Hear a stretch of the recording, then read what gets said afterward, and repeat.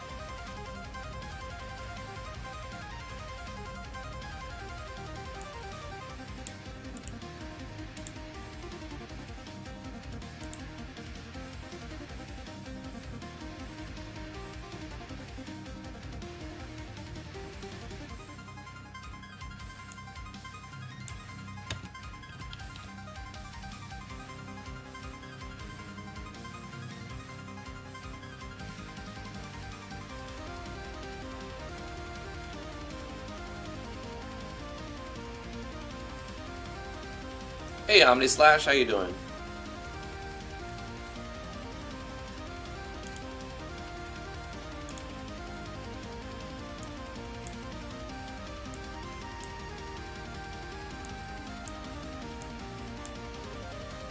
Thanks, Omni, you too.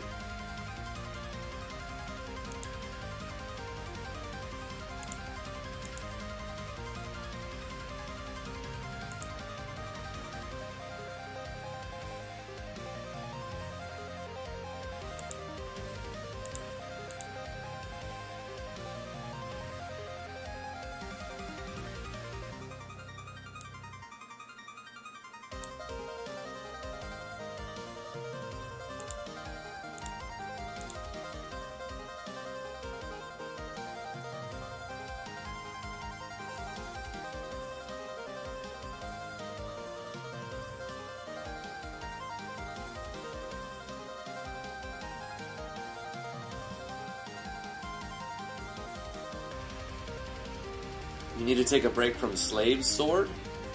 Is that the game you're working on?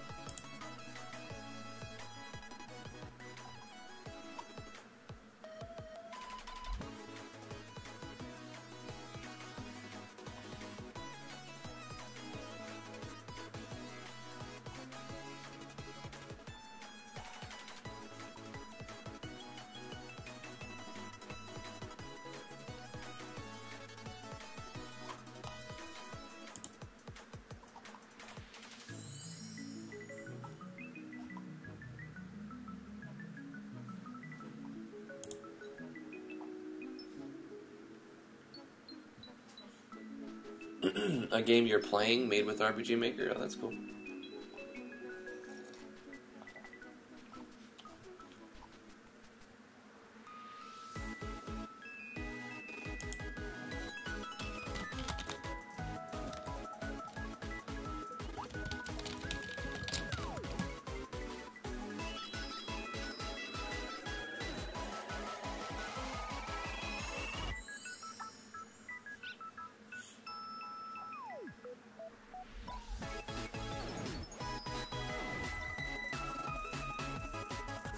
Kylazar.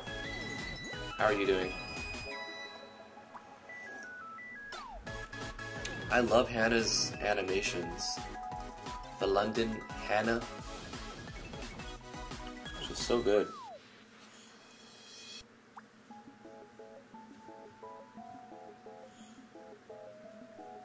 Alright, let's switch the scene over here. I suppose we should just get started. How's it going, everybody? I'm Drifty from Driftwood Gaming. Welcome back to the live stream. And for those of you who are new here, thank you so much for tuning in. Hopefully, I have an entertaining show for you today.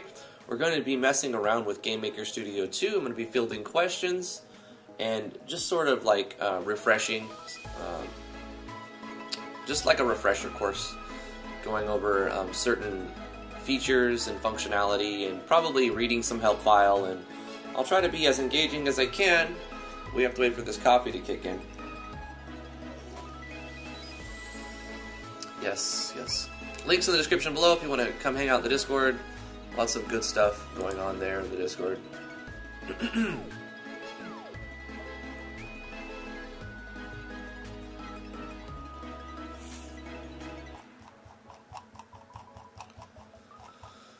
okay. Let's, uh... I just started a new project little while ago. Let's start a, a brand new one though. Let's use GML, and we're going to call it um, some arbitrary thing. The last one I called Never Ending Prototypes. We're going to call this uh, Miscellaneous Tutorials and Refresh and Refresher Project. That is a long and descriptive name. That's what we're going to call it. Miscellaneous Tutorials and Refresher Project. Just to mess around a little bit. The first thing I do, I noticed they changed it last time I jumped in the project. This usually defaults to 30 when you go to Options Main, but they've since changed it. So now it defaults to 60 FPS, which is where it should be by default, really. So you don't have to go into main options and change your your frame per second. Boom. But we check it anyway. Robert Johansson just subscribed. Thank you so much. Appreciate that. Actually, I want to see this game maker since I've been talking it up. well, you know, um, when I'm when I see a feature that's hard to do in RPG Maker MV and it's easy to do in GMS2, I'll mention that, and vice versa. If there's something that's uh, hard to do in GMS2 but easy to do in RPG Maker, I'll mention that and talk up uh, RPG Maker as well. So it really just depends on what I'm working on at the time. Hey Royal, Seth, Omnislash, Kai, Kai Lazar, everybody who's tuning in to the chat, thank you for coming to the live stream. And anybody else lurking. If you have any questions, things you'd like to see or learn, um, I'm not going to say I know how to do everything because I op- absolutely don't, but um, I'm pretty good at finding the answer to things. So we could figure out um, some uh, some basics if you have a question. Um, I'm just going to mess around and, and put together some little project and uh, revise it and whatnot, and just chime in with any questions you have. If uh, the audio sounds weird, let me know. Sometimes it'll go robotic if I start to record audio while I'm working uh, uh, on the live stream. Um, so let me know if that happens and I'll get it fixed. I like to go with a naming convention. So I'm going to use the F2 button to rename things. And most people will do something like this. They'll just abbreviate the first part of it. They'll call it RM or R underscore. So I do the same thing. I use a camel case for most things that I um, reference, just so if I, if I keep the same naming convention, it'll help me when I'm trying to figure out what did what did I call it because you have to reference things verbatim it means letter word for word letter for letter. So I'm just gonna call this room start screen just like that. R underscore start screen. And if you're coming from RPG Maker MV which I'm sure most of my audience is you can think of a room as a map So we'll double click this room and it'll open up the room. We use the middle mouse button to scroll up and down and we can hold shift to scroll left and right. We can press control and middle mouse to, you know, zoom in and out and we can right click or we can middle click and move it around to kind of look at it as if it was our canvas. This is uh, the properties part here is where you can change settings and the properties of the map. We're going to change this into a 16 by 9 aspect ratio. We'll just go 1280 by 720 and uh, that'll give us a, a widescreen window that pops up. So right now all we have is, you know, uh, a black background. If we run it, nothing happens. We just see a 12, you know, a 16 by 9, 1280 by 720 window that pops up and nothing's going to happen. So we need to maybe create a background. Um, we'll be messing around with Photoshop and some Aseprite as well. So let's go ahead and, and load those applications as well. Let's load Photoshop and we'll load Aseprite as well. It's gonna load Steam real quick.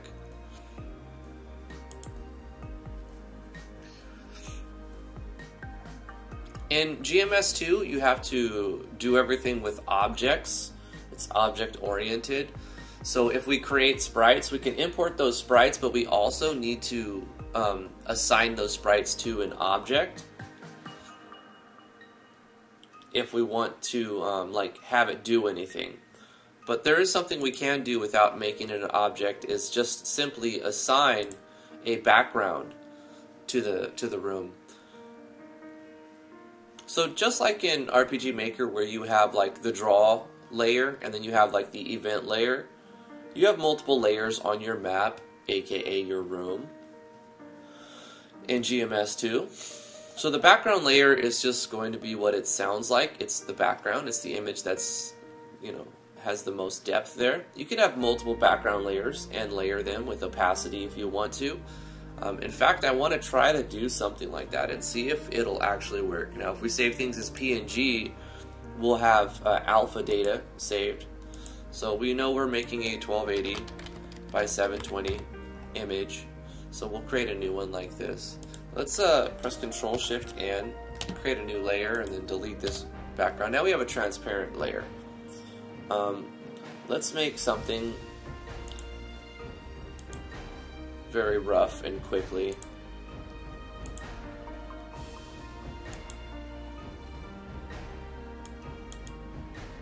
Let's find a green that I might accept as a grass, grassy green.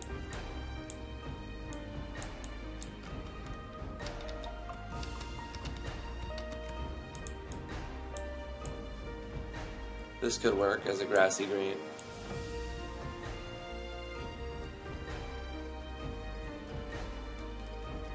I'm gonna shake this up a little bit.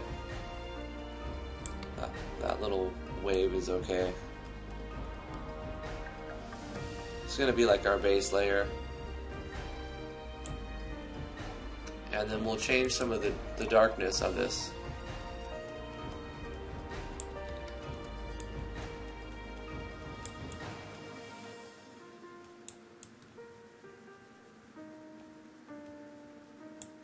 Gives us somewhat of a highlight.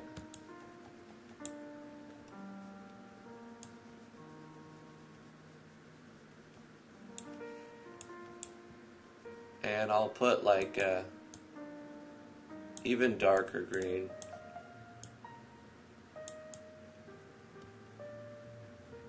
This is going to be like our forest, a little bit darker. And the background.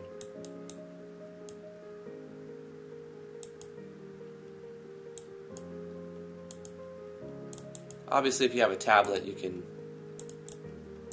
do this as well.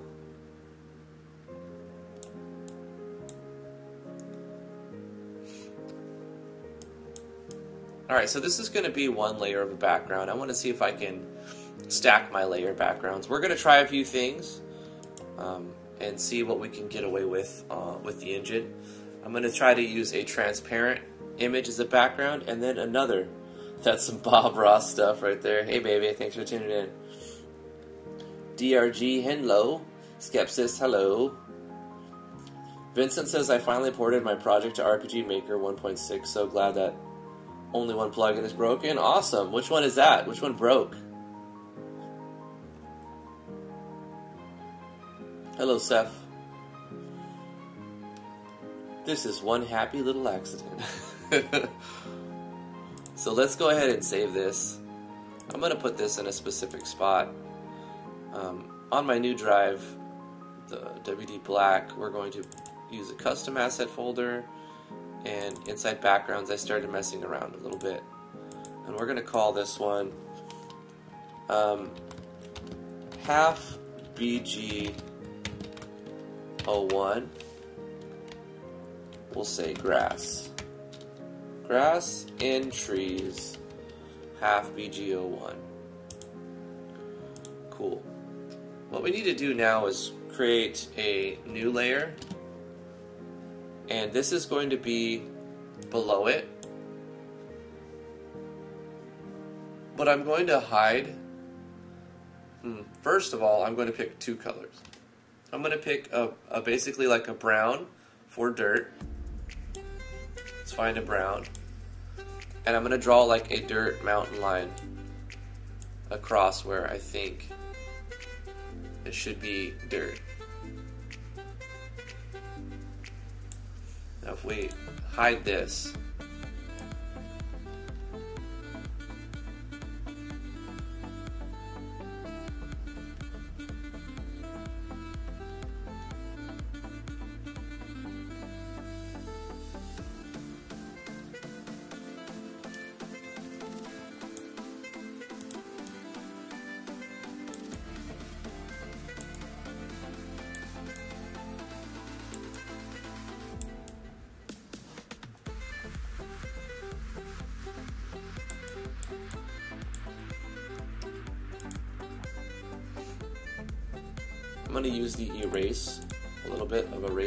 eraser, tool. And just kind of, whoa, whoa, whoa.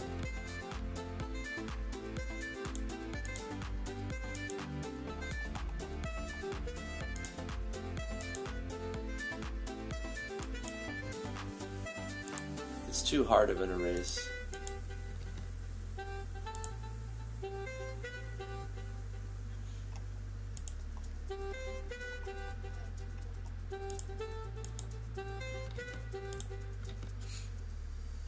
Scratch the erase tool.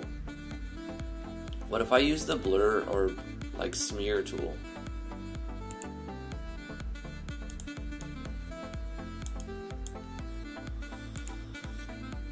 Sponge.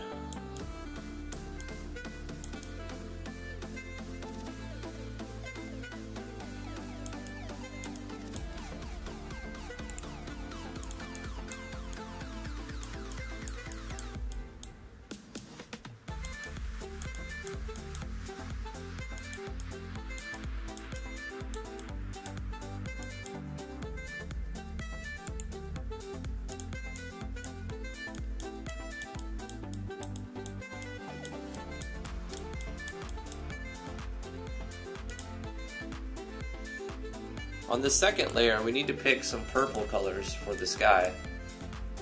Let's go back to our brush.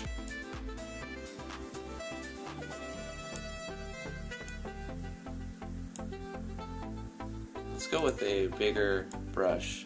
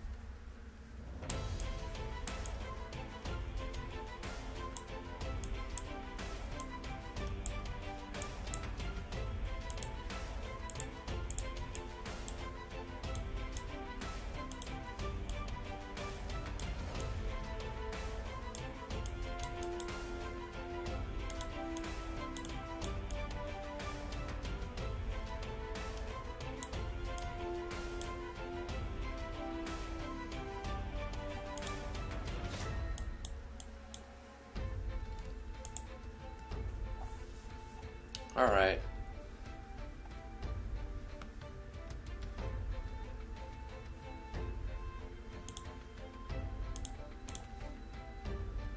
What other weird things can we do? Let's take this and go like this.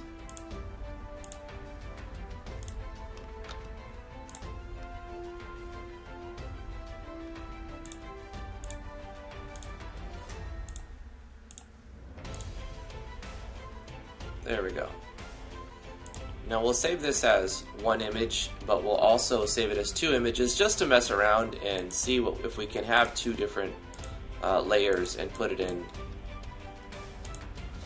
GMS2 that way. It's an experiment really. We're just messing around. So we'll call this one um, um, background start screen background 01 full.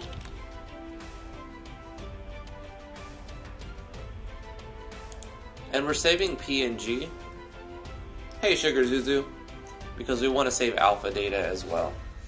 Now what we'll do is we'll uh, fix that little spot down there real quick. I'm going to use the eyedropper tool to pick a color. And then just, whoa, whoa, whoa, right on this layer.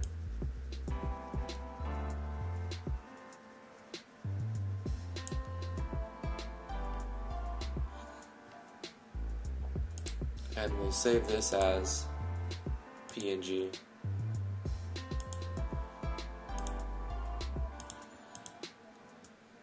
We'll call this dirt in sky half background 01.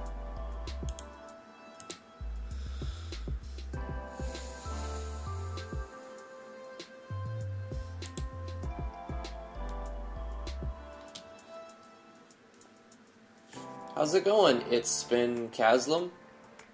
Uh, I'm doing well, thank you for asking. We're just messing around in GMS2 right now.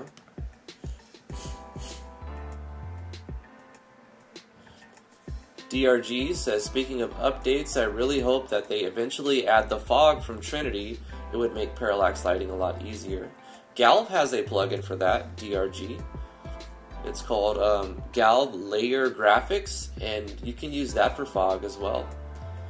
I decided to check what my version is, and apparently my product version is 1.5.1. Should I update once I finish my game, or should I just update it as soon as possible? It's really up to you, DRG. I would say back up your project before you uh, update the library files of your project, just in case you break plugins going from 1.5 to 1.6. I don't think there's going to be any problem going from 1.5 to 1.6.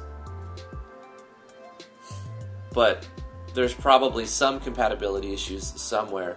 And there were there was a function removed out of the PIXI library um, and the library update for RPG Maker MV that says is DevTools used or something like that. So you may need to update plugins if you do that as well. Yanfly's newest versions plugins have fixed have have removed that function so that it doesn't uh, cause a unknown error. Anyway, back in GMS2 we have our artwork now. We need to load it into our project, right? So the best way to do that is to go over here by sprites and we can create a new sprite or we can um, we can add from libraries or we can create from images. Um, let's go ahead and say create sprite from images and we'll go to where we have sprites where we save them. Let's take these three. Actually I made this space one the other day. We'll put all four of these in here.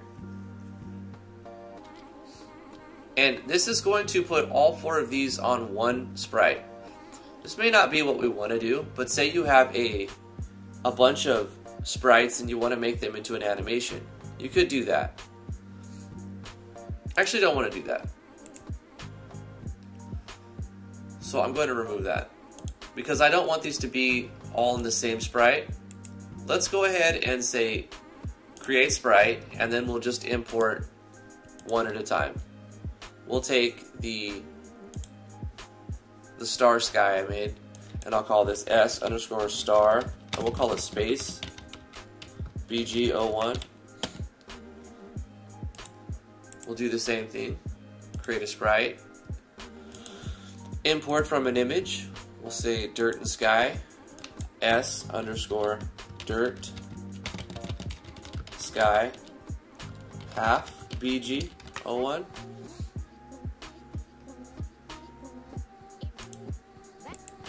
Create another sprite, import. We'll call this S underscore grass trees BG01. And finally, we'll do the one that's got both of those layers. S underscore start BG01.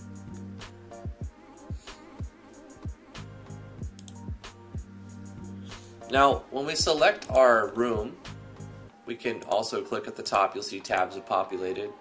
You could double click it to go here as well. And also you'll have recent windows. If you want to navigate like that, you can do that. We're going to click over here on the on the layers section and we're going to add a new layer. So to, to add a new layer, you have these buttons at the bottom. You could also right click and add layers that way. But we're going to look at the buttons right here. We're going to create a new background layer and where these layers are um, from top to bottom will also determine like their order of draw their draw order. So let's put this one um, below. We create a new layer, call it background. It's a background layer. We're going to hit F2 to rename it, and we're going to call it background 2. So for the first background, we're going to select a sprite by clicking these three dots, and we'll pick the background one. This one should actually be that one right here.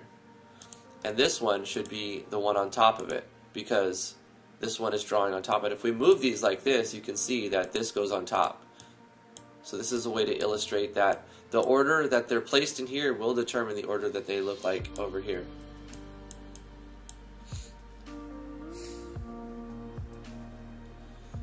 So there's our background. If you don't want to do that, you could always just pick a color and it'll be one giant color.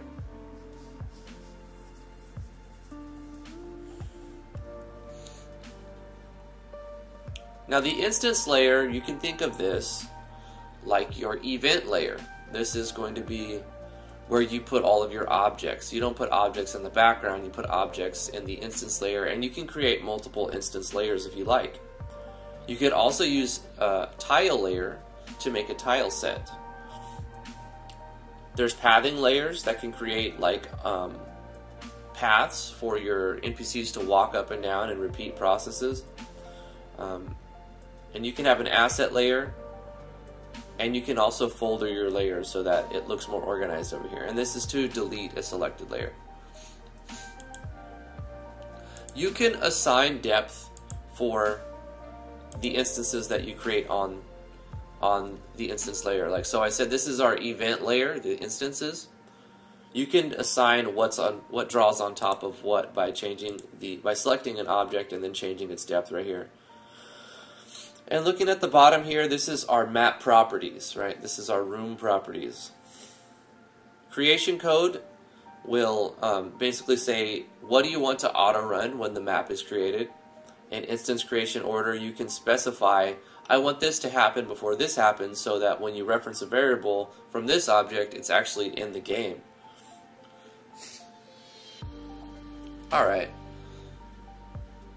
So let's draw some text, right? Let's make let's give a name to our start screen. If we if we play the game now, it's just going to show a box and it's going to have that. But in order we want to draw some text to draw like our our start screen. We could do that in Photoshop too, but let's do it inside the engine. It'll be more efficient to not have a picture for it and just to draw it with text. So in order to draw things with text, we have to create a font. So we'll create a font right here. And we'll just call this um, F underscore um, start text. And we'll go with camel case. So we have lowercase first and then capitals.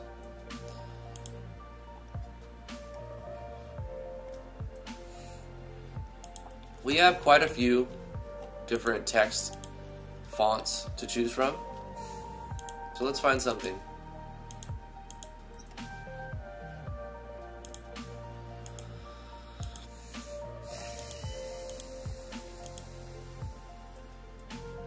Let's go with this, but a very large font. Let's say 36.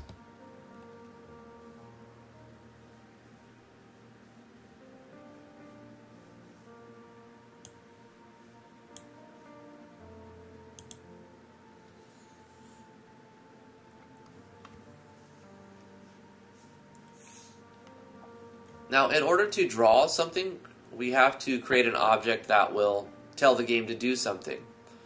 So we don't need a sprite for this object because it's just going to be like an invisible controller object that says do this thing. So let's go ahead and create a new object. Now an object is like your event. It's, um, we'll call it O underscore draw text.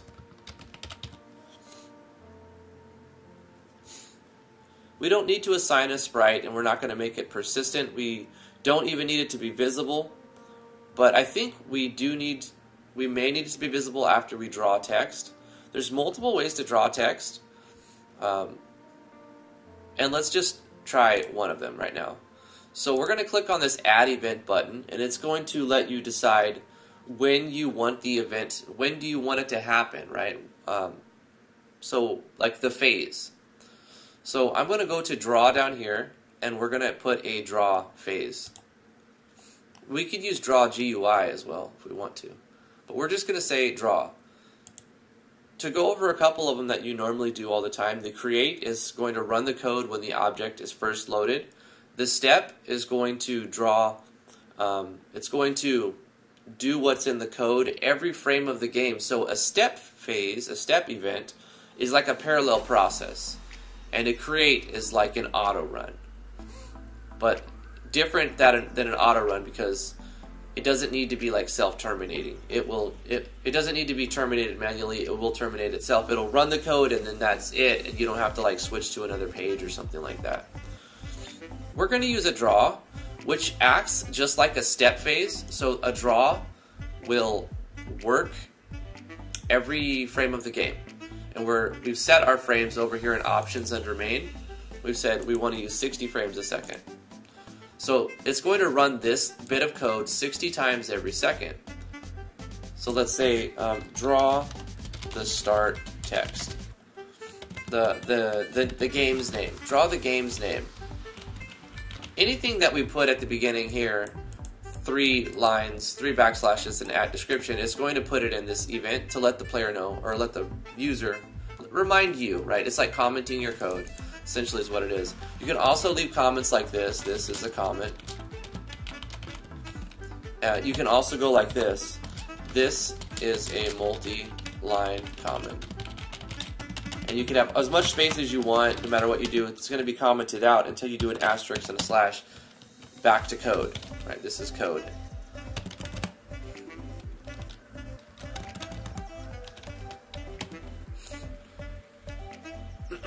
if we wanted the object to have a sprite, there's something we have to do. We're not going to assign it a sprite, so we don't need to do this. And all objects will have an invisible draw layer, an, an invisible draw event, um, if this is not here. And what it does is create, it does this, draw underscore self. And all this is saying is the sprite that's assigned to it, make sure that it's drawn to the screen every frame. But we're not assigning a, a sprite, even though we are adding the draw phase. So if we add the draw phase, we have to put this ourselves if we want to give this a sprite. But we're not going to give it a sprite cranberry. So what we're going to do is just tell it to draw text. So there's several things that we can do um, with the text. The first thing we have to do is assign a font. So I think we have to use a... We're going to use draw text right here. and it's going to look for an X location, a Y location, and the string you wanted to draw. Let's talk about variables real quick. Um, a lot of this is just reviewing for fun, right? But for those of you who don't know anything about this, I'm trying to make it accessible. So a variable is any sort, any set of data that you want to be stored to the game and referenced later, and it can change possibly. And you can call it whatever you want. So we're going to call this game title equals, and we're going to say the game title equals a string, since we're going to say that it's a string with these two quotations. Um, miscellaneous tutorials. We'll say miscellaneous tutorials and we're going to do an end line. You don't necessarily have to do an end line most of the time in GML, but it's just a good practice. So before we can draw text, we have to set a font and set a size and, and all kinds of stuff. But we'll set this up anyway. Where do we want this text to be drawn? That's a good question. We know that our canvas is 1280 by 720. We kind of want it in like the center or maybe up a little bit. Volpe says, anyone know if there's a plugin that's like region restriction, I guess, but only restrict half of a tile? Using half move and would like more control over my tiles. Using half move. Is half move a plugin? I'm not sure. You can set it up in TileD if you want to put in the, the time to learn it. I recommend checking out TileD Volpe if you haven't yet already. I should probably zoom in a little bit since we're looking at code. That might help a little bit. Anyway, we need to set our tell the game where to draw things, right? And we know we have 1280 by 720, but there's another thing we can do if we don't want to just put in a raw number. There's built-in variables that GMS2 has, like room width and room height.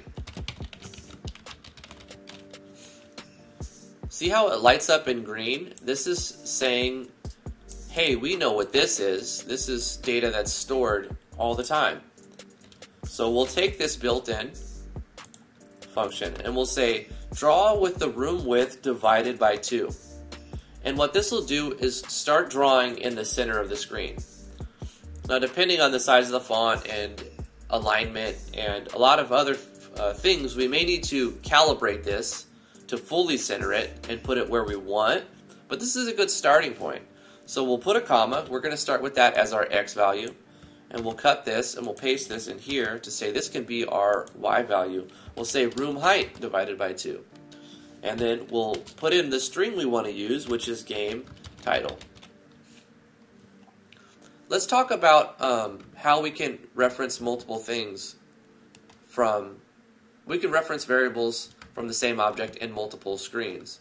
So let's take this game title declaration. We don't need to, to tell the game to set game title's value to miscellaneous tutorials every frame in the draw.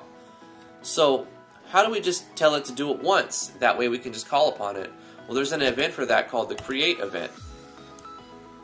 So this will be to like do things like initialize, initial,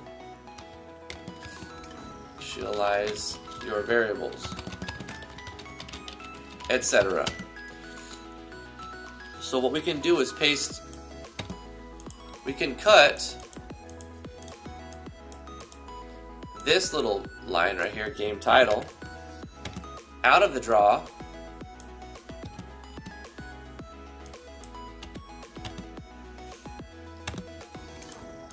And put it right here. So now when this object has been uh, has been initialized, when this object has been created, it will it will create a variable called game title and store the string value of missed tutorials inside of it. So when we reference the draw phase, right here, game title, it's going to know what game title is. Otherwise, you'll get an error saying, uh, we don't know what game title is. Thanks for the zoom, I'm on a phone. no problem. I'll try to remember to keep doing that. On our create event, we set it there and then we reference it here. And it should still work because it's all part of the same object, the draw text object. But before before it actually draws text, we have to say we want to use this font, we want to use this um, color, we want to put certain outlines. We need to prepare the draw. So we can say set font, draw set font. I like the auto completion um, functionality inside the editor. The IDE of, of GML, GMS2 is really good when working with GML. So I can start typing something like draw underscore, and then I have a list of stuff that you could actually do. And if you need help, you could always middle click it, and it opens the help file. And it shows you descriptions, the syntax, what it returns, and examples, and anything else that's relevant. So it's really, um, GM, GMS2 has a fantastic help file built in.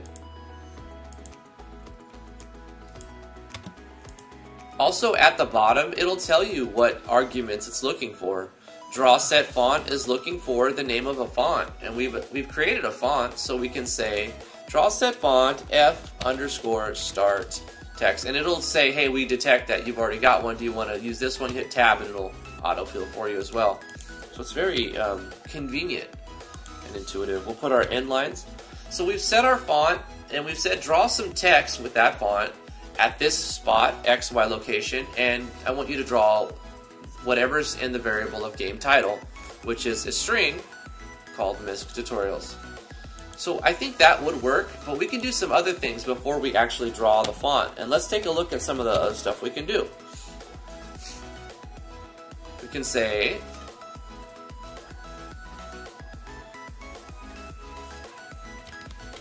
draw text we'll say draw set. What can we set? Set our alpha value, set our font, our horizontal align. We can set our lighting. SWFAA, is it anti-aliasing? I think, I'm not sure. Our, our um, V align, vertical alignment, and skeleton collision draw set. I don't know what that's for. Maybe something to do with spine because Spine has um, built-in integration.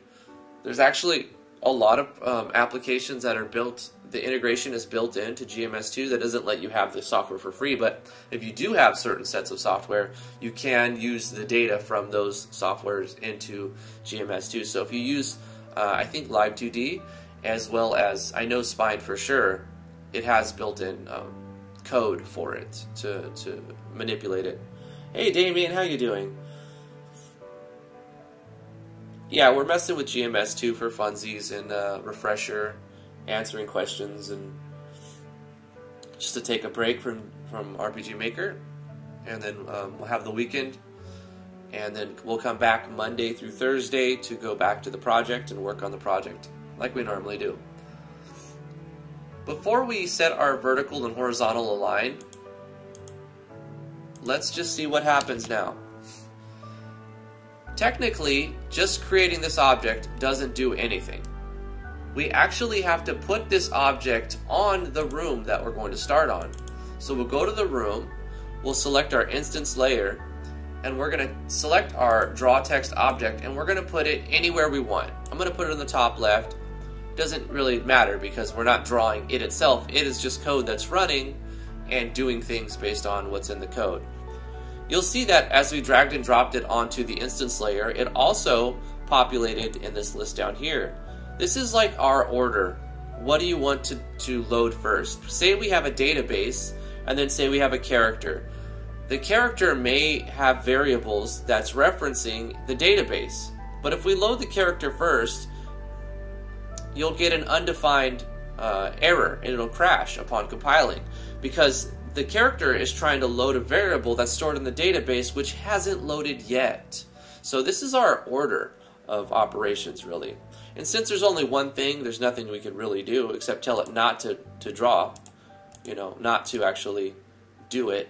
But if we have it in here, it's saying load this thing. So we're going to save our project and we're going to try to run it. It will compile it at the bottom and then build it, and then it'll pop it. It'll, it'll pop up. It'll run. So here's our here's our project, our game. No, why does it do that? Please don't do that. Just stay up. Everything just seems to minimize when I shake it, which is not what I want to do. I had like five windows where I wanted them. Will Black, how are you doing? It's good to see you. I like your comments. I appreciate you, Will Black. I'm good to see you join the live stream today. Miscellaneous tutorials did draw, and we used room height divided by 2 and room width divided by 2. But it started sort of in the dead center. If you see this, it sort of started in the center, or on the left-hand side, right? So it, the point of drawing was dead center, and then the alignment has it like that. So we need to center our alignment if we want to pull this back into the actual center. To illustrate this and blow it more out of proportion, I'll show you by going to the create. Say we had a longer title. You'll notice it more. We'll say miscellaneous tutorials and refresher project.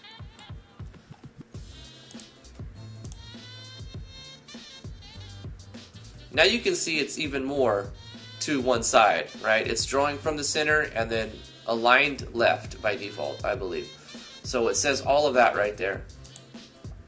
Now what we can do to get around this is to change our alignment. So we're going to draw set H align and then we're going to say center. Or we actually have to say FA center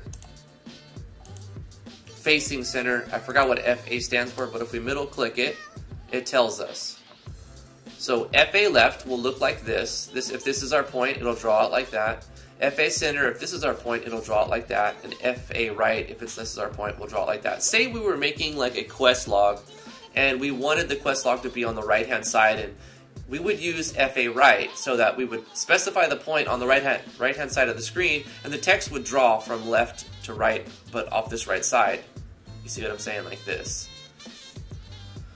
Or if the quest log was on the left-hand side, we would use the default of FA facing left, right? But for the center of the screen, we want to use this, because this is sort of how we want our title to be set up.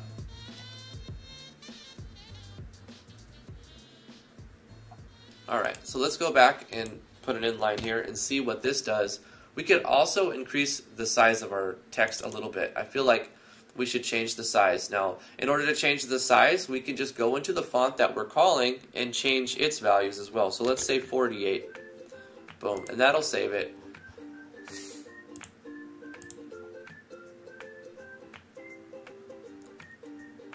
Now, it says miscellaneous tutorials and refresher project.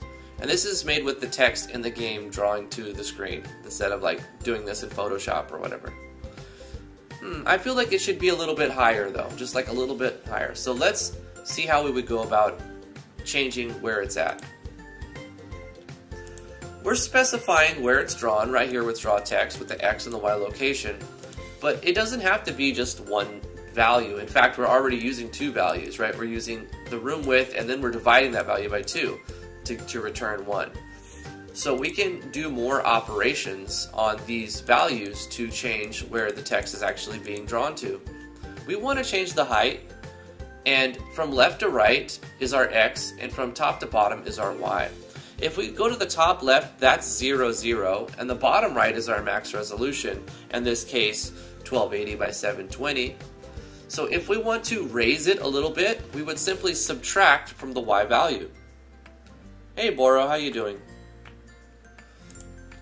So from the height, we are going to subtract some of the y, right? Here's our x and here's our y.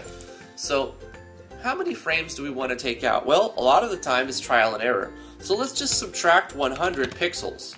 I said frames, but I meant pixels. Let's just subtract 100 pixels to see if it brings it up enough. In fact, I'm going to just start with 200. Now, even though it says 2 minus 200, if you remember your algebra class, there's a simple order of operations that has to happen. It has to do the division before it does the subtraction. So it won't be room height divided by 198. It will say room height divided by 2 subtracts 200 from that, right? That's how it should work. If you're not sure with your operations, you could always encapsulate, which will consist of putting parentheses in. So we don't have to do this, but this will help you understand what's happening. It's going to do this first, and then subtract 200 from that. And say we wanted, what, what if we wanted to take room height and then divide it by um, this number, right? Well, then we would encapsulate this number like so. If we wanted this room height to be divided by the the um, subtraction of, of 200 from 2, we wanted it to be from this, this number. We would just use encapsulation right there. But we don't want that. We want it to work just like it's intended, like that. We want it to do this and then subtract 200 to raise it. And let's take a look at it. That looks pretty good. So now we're, we're taking the x and the y of the room, we're centering the drawing point, we're subtracting 200 from the y value, which is raising it up. So that looks pretty good right there. In fact, I'm to do one last thing. I'm to raise the font a little bit to 56, and there, that's it. And we can pretty much um, guess what's to happen. It's to do the same thing with slightly bigger font, right? Cool. What's next? What should we do now? Is this going to be a platformer? I have no plans for this whatsoever, Boro. We are just flying by the seat of our pants.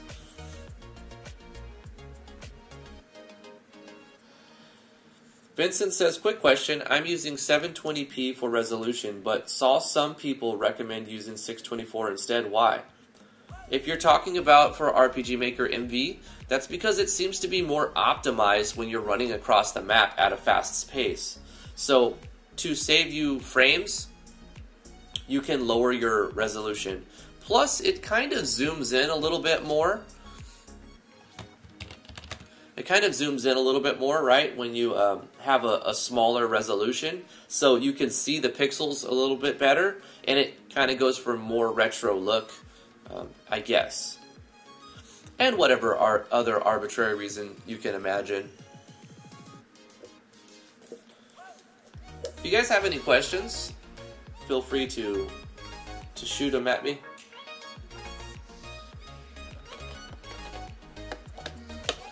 We're just messing around here. Well, let's let's try to make it do something, right? Let's uh Let's make something interactable, right?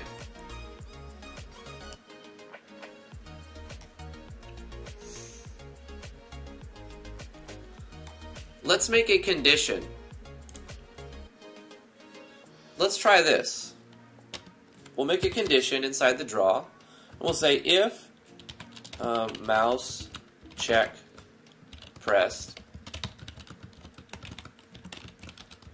This is a conditional statement that's saying if whatever's in these parentheses returns as true, then do whatever's in here.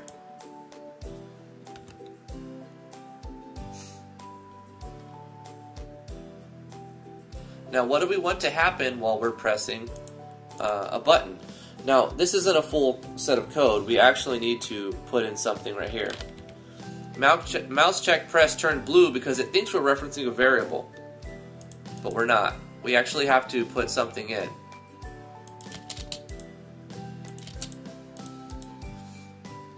Um, virtual keyboard would work.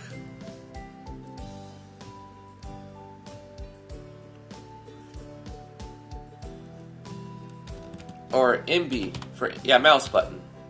Let's say uh, mouse button left.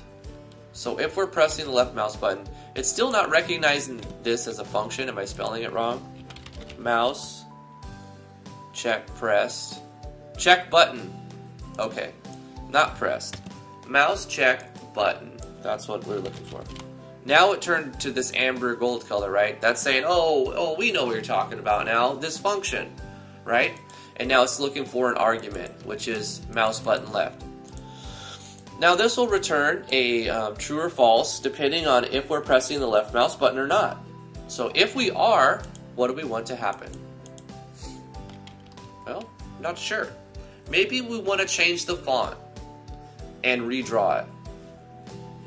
Let's copy this whole thing and paste it in here.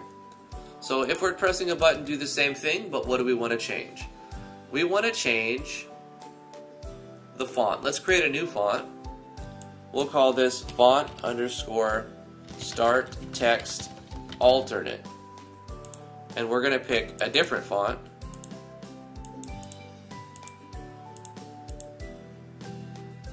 There we go. And we'll say 48 42. So now if we're pressing this button,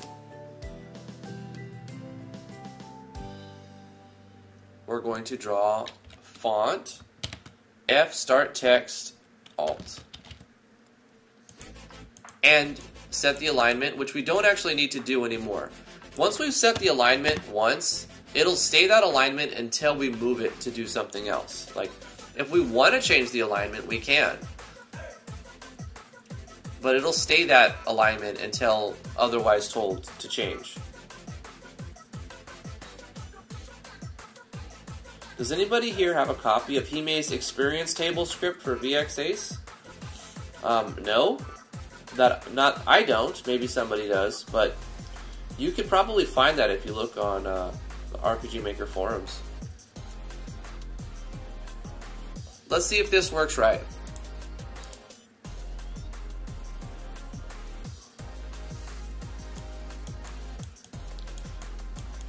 And you see it, doesn't erase this other one, it just draws another thing when I'm left pressing left click, right? Now, if we wanted it to erase the other one and just draw the new one, well, all we'd have to do is put this code inside an else handler. Else do this. So it's not going to draw that by default. It's going to first check to see if we're pressing a button. And if we are, it's going to do this. Otherwise, it's going to do this. But what we want to do first is set our alignment, right? Because we don't need to do that. We want to put as, as few lines of code into the game as we have to in order to get the same outcome and be more up to be the most optimized. So since they're both going to use H align, we're just going to set H align. So we're setting our H alignment. Can we set our alignment in the create phase? I don't think so. But I want to test that, right? Let's do this. Let's put it here. Because it's a draw, I don't think it works right here.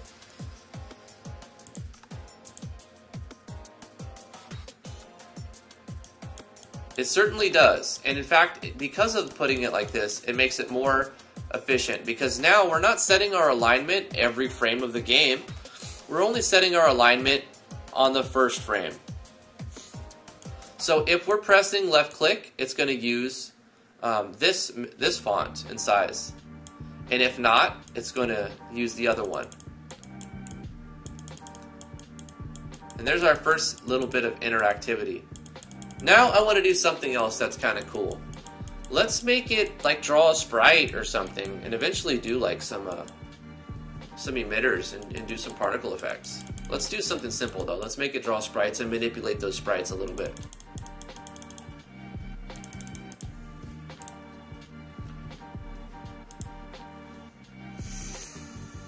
Alright.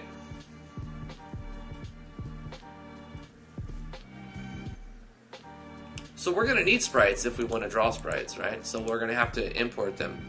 Let's look at GMS2's image editor. We can always open up um, Photoshop or Aseprite. We're going to call this um, mm, pop out particle.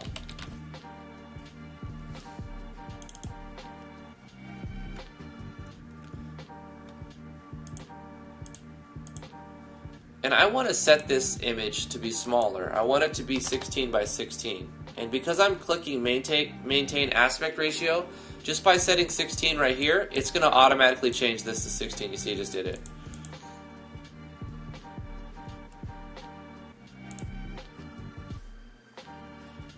Now inside this image editor, we can press the control and middle mouse to zoom out like that.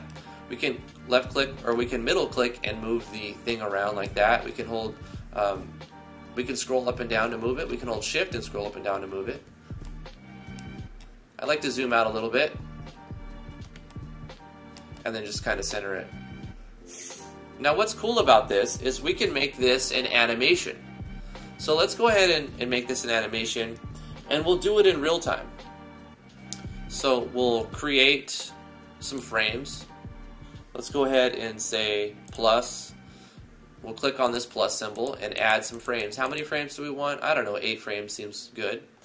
Now I'm going to change my animation speed to be 1 and then hit play.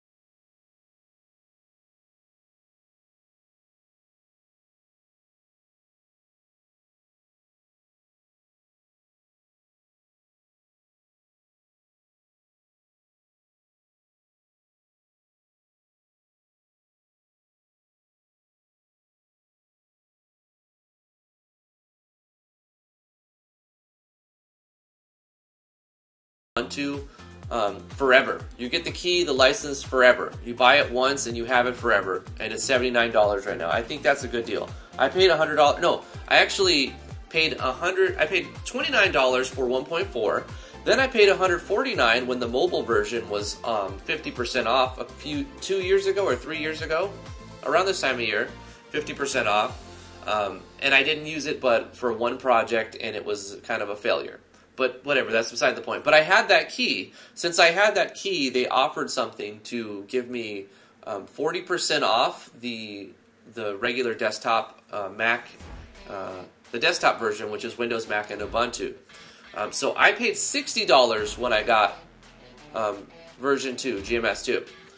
Um, yeah, which is quite pricey, right? That was with redeeming my 1.4 keys to get GMS2, and I still paid 60. But at the time, and for the longest time, it's been $100, and it'll probably go back up to $100.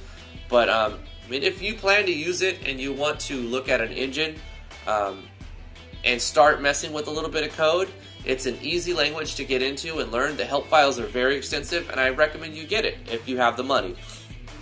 Right now, it's on sale for 79 and I feel like it's worth it. But uh, I'm not trying to sell it to you because I don't get anything if you buy it, really. So um, it's up to you. If you want it, you want it. If not, you can download the free trial and mess around with it just to see. The trial version, the demo version, is basically the same thing, but it has limitations in that you can only have like five objects or something like that. You'd be very creative if you want to make a game with five objects, I'll tell you that. It's possible though. You can make a game with five objects. You just have to learn how to transform them.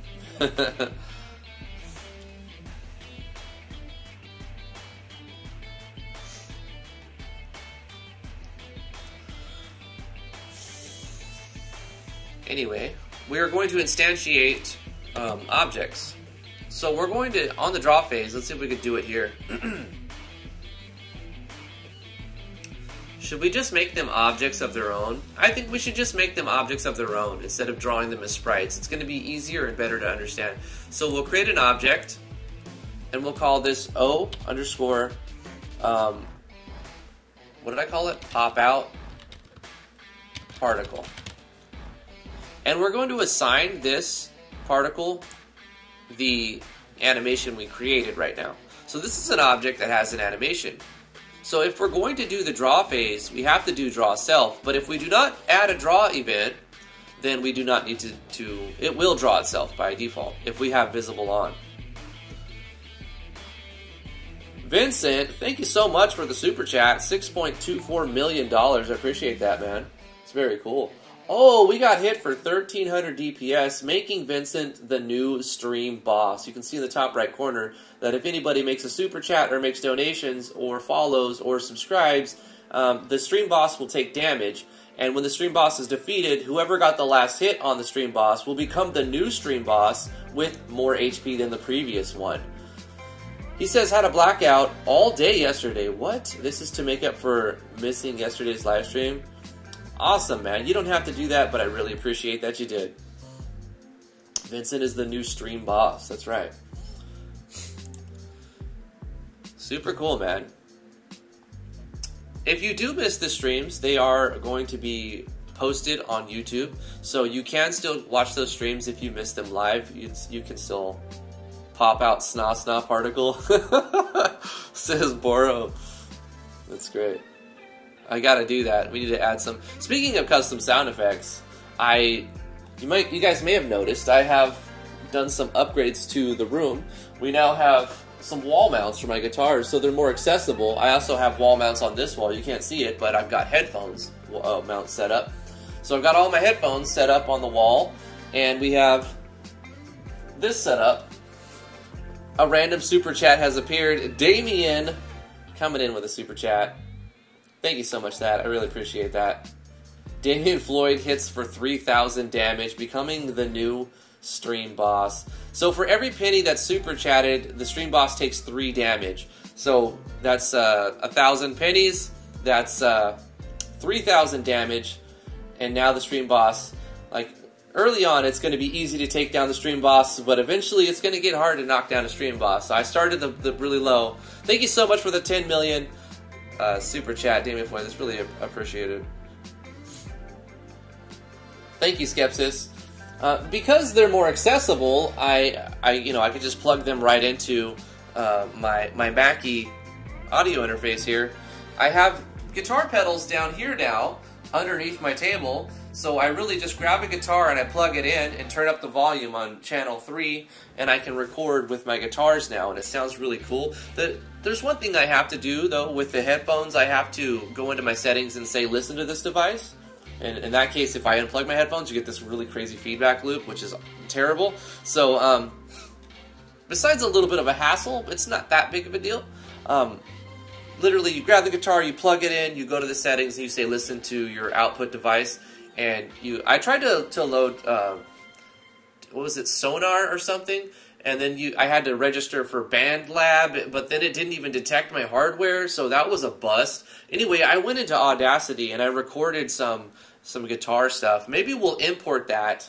Um, let's do that next, but let's do the particle thing, and then we'll import some of the recordings I did last night uh, while I was testing the, the setup.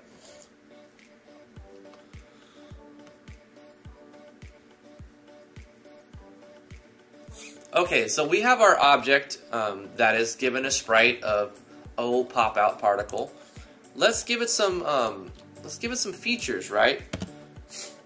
Um, set up direction and speed. We, we, want this speed. We want this to to do things, right? So at the beginning, we're going to say its direction. Now, direction, since it turned green, you can see that it's a built-in variable. It's it's going to be um, it's going to be it's going to assign properties to an object based on the number that is is given. So direction is looking for anything from 0 to 360. You can give it something more larger than or it can be greater than less than 0 to 360, right? But it will always divide by that number. What I mean is if you give it a value of 361, it'll just take the value of 1 and it'll just it'll work like that. So if we give it the value of, let's say 180, we'll see what happens. We also, that's just going to orient it. It's not going to really do anything. There is another thing called speed that's built in. And this is going to tell it to move at this rate every frame of the game. So let's say move at this rate, we'll say three frames, three pic three pixels every frame. Actually, let's do like 10, be better. So it's going to set the direction as this and then do that. Now we're going to randomize these values later, but I want to show you what happens when you set them like this and what you can do with this. We don't actually have to do anything with this uh, object every frame of the game. We just need to give it some built-in um, values and the, the engine will know how to interpret those when we instantiate this object. So this is very efficient because these are built into the, the, the, the game itself. But we do need to make some stipulations. When we create objects, we don't want them to um, exist forever because we'll, we'll have so many instances that it'll eventually lag the game. So we're going to make some, um, some contingencies, right? We're going to add a new event. Now this is a special event underneath other. And what it's doing is it's checking to see, we're going to select called outside room. It's going to see if this object ever gets outside of the room, the, the R underscore start screen. So we're going to put that in. Run when objects is outside of this uh, the room. What do we want to happen when the object leaves the room? We're just going to say instance underscore destroy. And when this is called like this, with no arguments passed, it's going to uh, assume that it means itself. So if this object ever gets outside of what the, what the player can see, it will just no longer exist. Therefore, clearing up the RAM that it's using to create, and then, um, you know, it'll, it'll be better, more optimized. So with a simple um, create that says, gives the object a direction and a speed, and a contingency that says remove this if it's ever not visible anymore, if it's outside the room, and assigning it a, a animation. Um, it's all it needs. But it's still not going to do anything until we put it on the map, right? If we were to put this on the map, it would just do that and then run off the screen, and you would happen you'd just see one of them. That's not necessarily what we want to do. We want to create a bunch of these, right? So what we'll do is, see, on our condition for draw, we're going to use something, we're going to instantiate multiple copies of these. So if we're, in the case that we're pressing the left mouse button, inside the draw text object, we're going to instantiate the pop-up particle. So we'll say instance underscore create layer. Now this is going to look for three things. It's going to look for the X location, four things. The X location that you created, the Y location that is being created, the layer that is created on, and what are you creating, the object you're creating. So we'll just say um, we're going to create with the same X and Y location of the text, and we're also going to use the, um, no, no, that's it. We're going to use these, only going to use these two things. So we're going to say create with this X, this Y, and on what layer. Now when you specify the layer, you have to use double quotes so that it knows that this is not a variable, this is a particular string. So we're going to, we're going to put it on one of these layers. Um, it would have to be on some sort of instance or object layer. So we're going to just put instances right here. Instances. Now it's verbatim. You actually have to spell it the same way that it looks in this side over here. And then we put a comma and we're going to say, what do we want to create? We want to create the exact name, O underscore pop up or pop out. You can see we started typing it and the engine was like, yo, do you mean this? I'm going to hit tab because that's what I mean. O underscore pop out particle. And now it has everything we need to create that. Now, are we allowed to create an instance on a draw event? We may not be able to. So I'm curious to see if this works or not. If not, we'll set a similar number of conditions up inside a step event and then put it there. But it might work. Let's just give it a shot.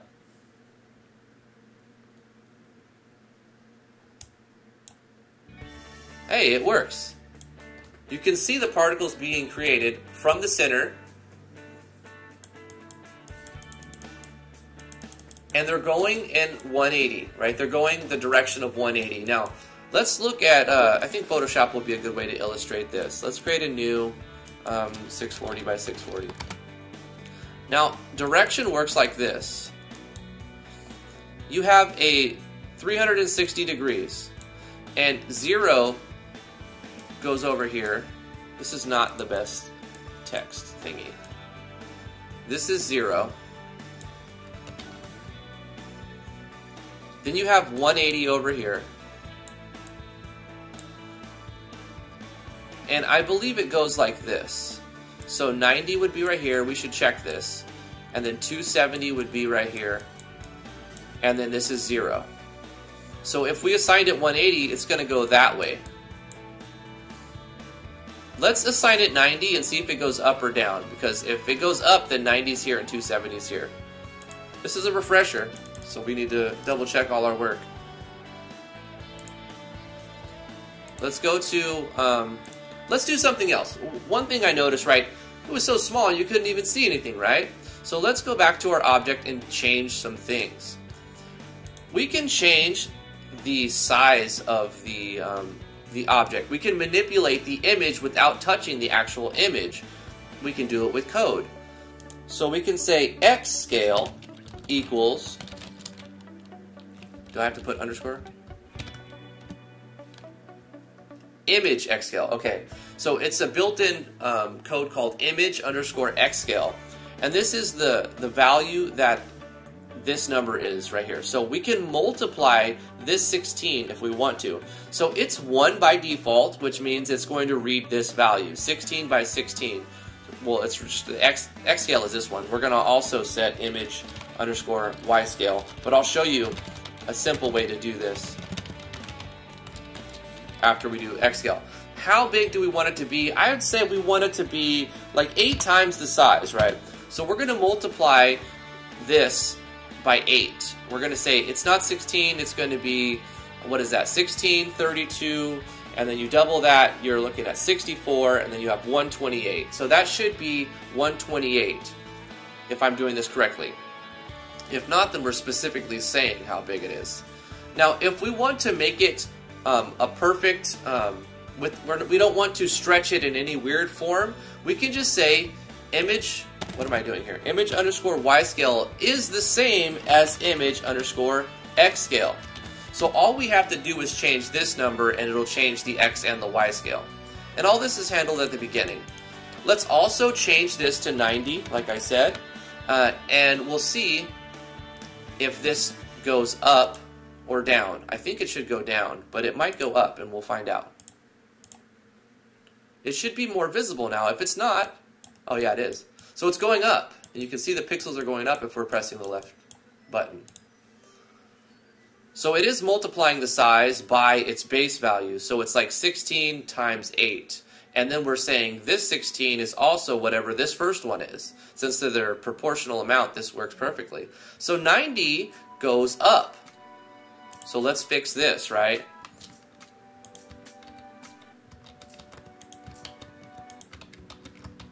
Where's our thingy? There we go. So it goes like this. 90 goes up, and 270 goes down like this. So it goes counterclockwise, not clockwise.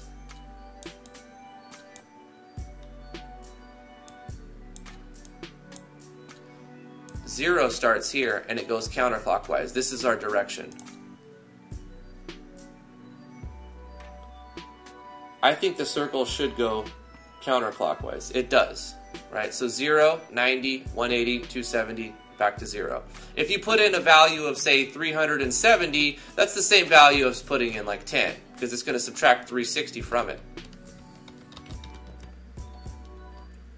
But once we understand that concept, direction becomes a lot easier to manipulate, right? So now we can pass in, let's, let's use some random values. What can we use for random? Let's say random what comes up? Well, we have random X, random get seed, random range, random set seed, randomize. Let's, took, let's look at two things with randomize. Whenever we use random anything uh, in a variable, we need to set up our initial seed of randomize unless we want predictive numbers because it will always spit out the same numbers if you're able to frame perfectly like say you click something on frame 37 in the game, you'll always get the same return number every time it's loaded. So you can control the RNG of a game like you can in some old SNES cartridges. But randomize is a way to mix up those numbers and you'll get a random seed and it'll be more random. So since we're going to say random range, in here at some point, we want to also randomize. Now this is just something that needs to happen in the game once and then it's good to go. So what we're going to do on the create phase of our text, since we're using our draw text as like our controller, this is like our game setup type of, we don't need to have a controller just for randomize. We can just toss randomize on in here. So we'll just say randomize. That's all we have to do. And now anytime we reference a random number, it will be random as best as the computer can handle random. It actually goes through a complex algorithm and spits out a number based on that algorithm, so it can be predicted. But it's a lot harder to predict that, and it won't be the same if you load it um, right now and then on frame whatever 57, you know, and it, you tell it to spit a number out, and then you load it um, a minute from now, frame 57, it'll be different if we use randomize. It'll be the same if we don't use randomize. Hopefully that makes sense. But since we're going to use random range, I want to randomize at the top. So let's use a random range. Now what random range does is exactly what you think it does. It's going to look for two things. It's going to look for, look for an x1 and x2. We want to say, pick a value between 1, we'll say 0, and 359. Now I could say 1 and 360, and it would be the same but I'm saying 0 to 359 instead of 0 to 360 because 0 equals 360. We remember that. So we're actually giving going that direction twice the probability as the rest, and we want to make it fully random, so we'll say anywhere from 0 to 359, or anywhere from 1 to 360, or from 2 to 361, or from 3 You see what I'm saying? So our direction should now be random, the image should be bigger, we'll change the speed as well. Let's change it so it doesn't look like a machine gun going super steady speed. Let's say random range, random range, anywhere from 8 to 20, or 18, or 16. Let's see what happens there. Now we've randomized what happens with the speed and the direction. We've increased the size of it. And let's just see what it looks like now. There we go. I think it's a little, a little fast.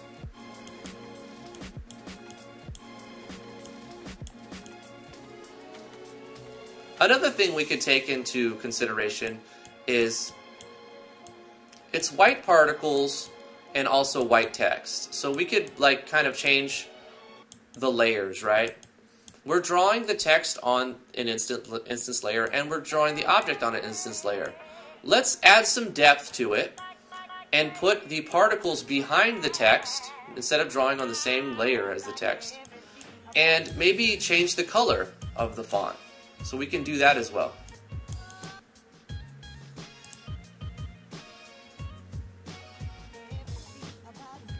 So let's go back to the draw, um, draw text.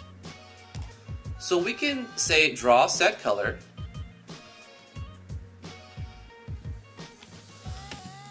Draw set color. Now you can use color with a U and color without a U. It's it's programmed in for whatever however spelling whatever spelling you're used to using. I live in New York, US of A, so I spell color this way. But if you live in a different part of the world, you may spell color like that. Good news is it works both ways. It does the same thing. So when we're looking for colors, if you're not sure what color to put in, you middle click it. And you'll get a list of colors, or you should anyway. The color for set to set for drawing. You can see that it's looking for a C underscore and then a name. Now we'll populate a list by just starting the name of this. So we're to go inside the arguments and type C underscore and then voila, we have a list of constants that are built in. So we can use aqua, black, we can use any of these colors that are built in, but we can also create our own color. For the sake of simplicity, I'm just going to select a different color. I'm going to say um,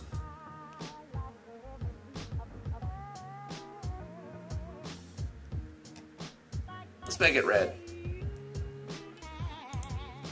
But there's another thing we can do to just to make it pop out. We don't exactly have to um, make it one straight color. We can have an outline, I think. Draw, set, outline, draw, outline, draw, set. Isn't there an outline? Or did I custom that script in another thing?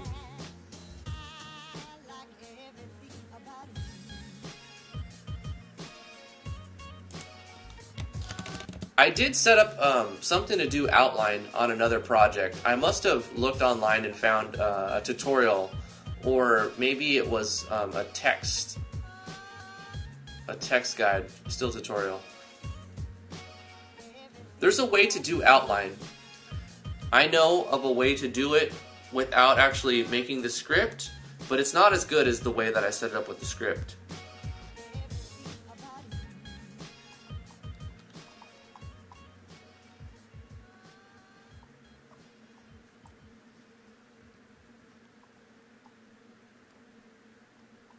It's cool being able to scroll through a list of functions just by typing in one word and look at all the things that have that word in them. Let's see if I just go outline and see if it, if it pops up with anything. Outline? What about border? Anything with border? Camera stuff with border? Um,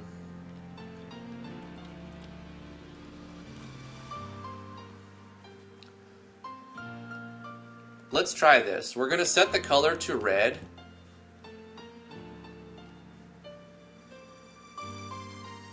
Let's take this same font. We're going to we're going to duplicate it. We're going to try some jank way of doing this, right?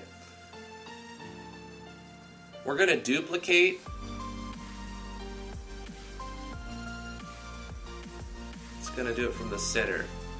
We're going to duplicate the start text and we're going to call this start text 2. And all we're going to do with this is increase the size by 1. So 56 is going to become 57. That's it. And we're going to replicate the draw right here.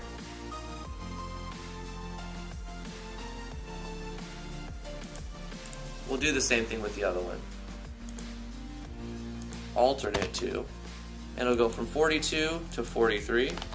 I'm just messing around, guys. What happens if we draw the text twice? We can totally do that. We're going to set the color to black as a, we're going to make a background and then we're going to set it to white with a bigger font. So we're going to do that, set the font to that, draw this, And then we're going to do the same setup again, except we're going to have different variables in here. We're going to say draw set color white font. We're going to say start text alt 2 for the font name. And then we're going to draw it in the same location. And then we'll instance create layer of our particles to pop out. Another thing we need to do is maybe draw the text on a different layer or draw the instance on a different layer. Because draw text is going to be using the screen instead of in a layer.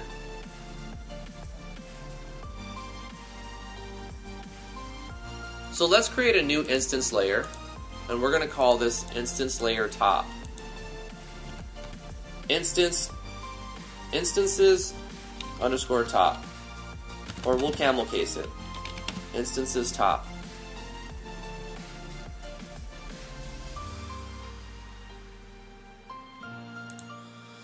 And we'll change where we're drawing this to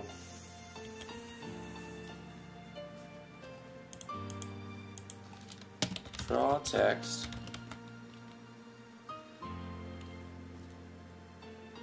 we may want to change draw text to draw text um, extended because this is where we get border.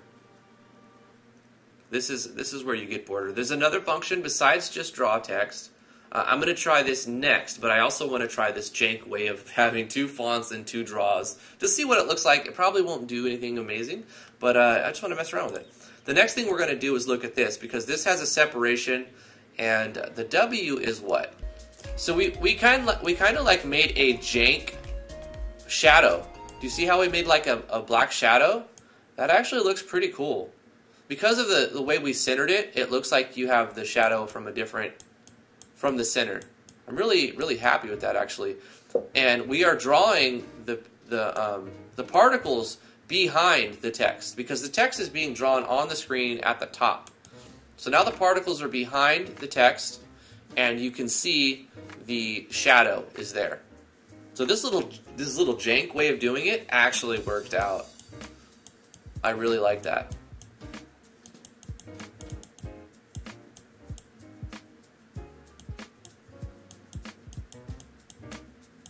Let's push this. Let's increase the number of particles being created every frame. Right now we're just creating one a frame, which is 60 of these a second, right? Let's lower the size Let's uh let's move where it's being created from, maybe. Nah, I like where being the center. We can bring it down a little. Nah, it's fine where it's at. But we'll we'll lower the pixel size, right? We'll increase the number of create instance that we're creating. So otherwise we would have just hundreds of, maybe even thousands of objects in the game. But because we're destroying them as they leave the screen, we're never going to really have a problem with resources. There's no leak, right? Otherwise, these would continue on for infinity and eventually cause a problem. Because they're being destroyed, we can add a lot more. We can really go a little bit bigger with this. So let's say X scale, let's reduce the size of them by half of what they are right now. Easy to change the X and the Y with one because we were doing this code underneath it. Now, where we are instantiating them, where we're creating them right here, there's a thing called repeat. So we can say repeat, how many times do we want to create them? Let's start with just multiplying it by 4. So we're going to say repeat, we have to specify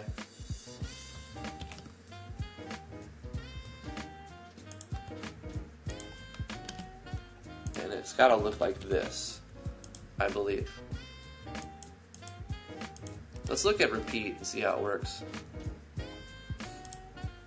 Repeat, expression, statement. Repeat 5, blah, blah, blah.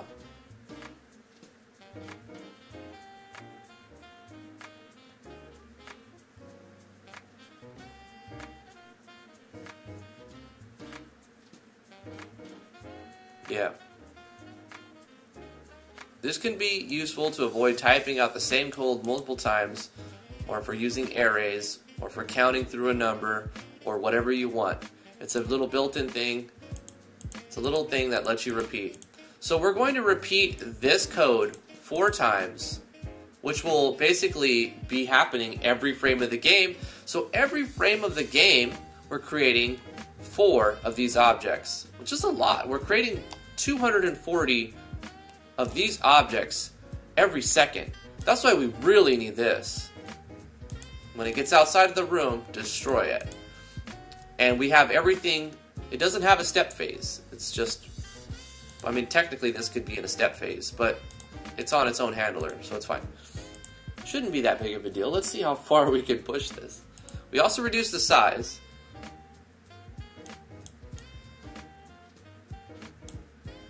There we go. Let's slow it down a little bit and double the number of objects. Let's uh, reduce the size to 2. Let's change its speed as well. From 8 to 16, um, let's go with 4 to 16. Let's repeat this 8 times. So now we're creating 200, nope, 480 objects a second. Are we going to have any problems with uh,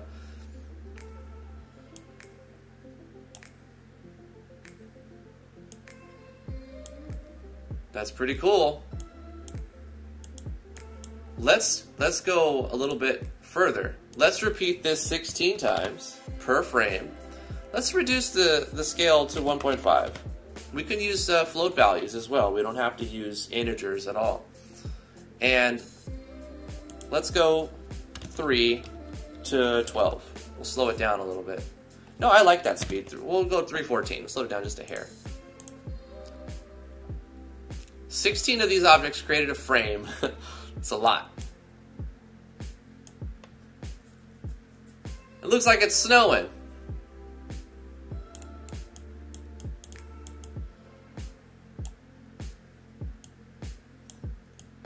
Nice.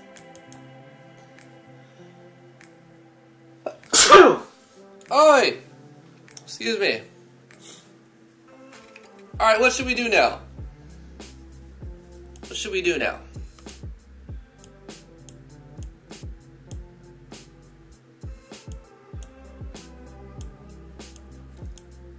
Let's make some more objects. Let's make some more sprites and some more objects. Thank you, Sugar. Let's create S underscore fire one, fire 01. Let's go here. We'll add. Let's let's go with like 16 frames, and we'll run this at like 8 speed, and we're gonna make some fire.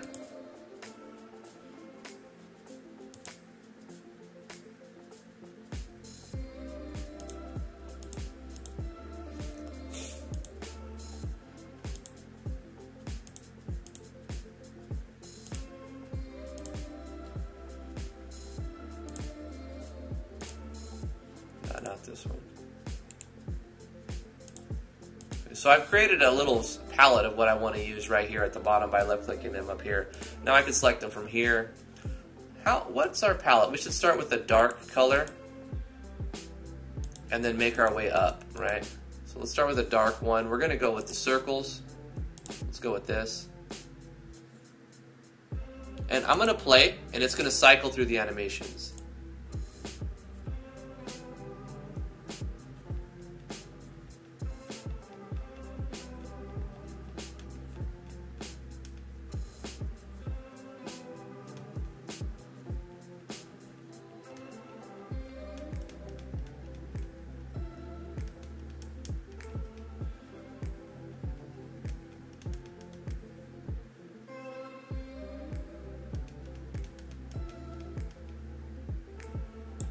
We should change the speed to a little bit faster.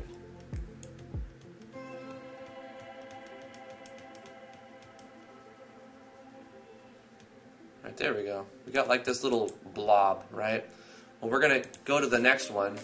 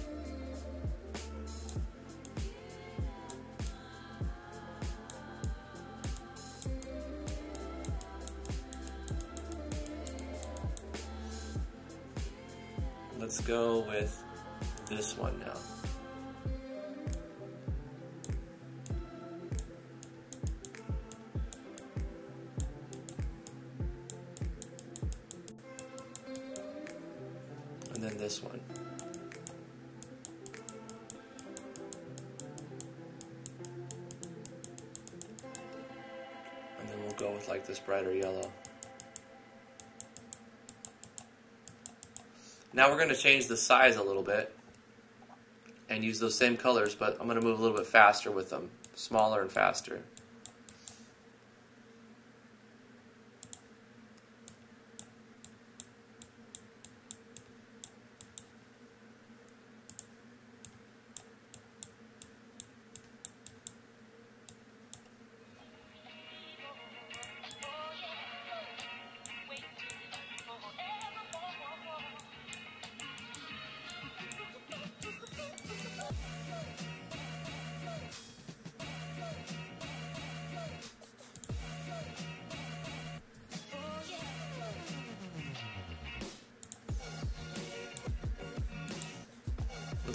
Same thing. A little bit smaller, a little bit faster.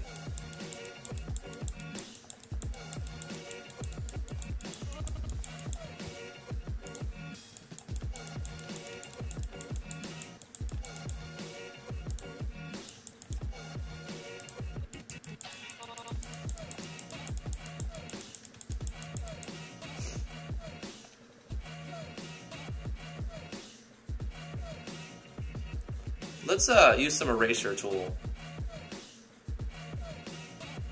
Let's go to the erase tool and select the circle.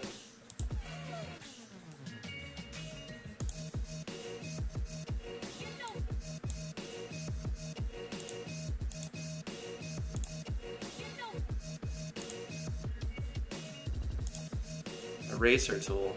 There we go.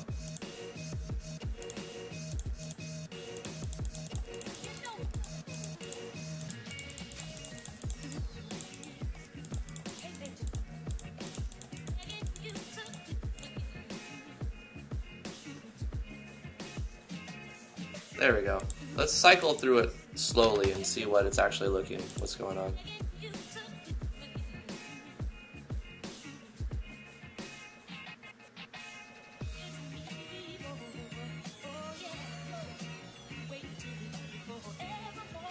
Lots of frames of what could be kind of like a fire, if you're zoomed out enough. It's not the best fire, but you know what? I'm going to use it. We created this little fire animation. Let's draw this animation. Since we're using draw text as our, you know, our instantiator basically, let's add a step event. So this is going to be um, check every frame of the game. It's going to check every frame of the game for whatever we put in here, whatever we tell it to do. Thanks, Damien. Appreciate it. It's hard to find good music without, you know, infringing on copyright, so I do the best I can.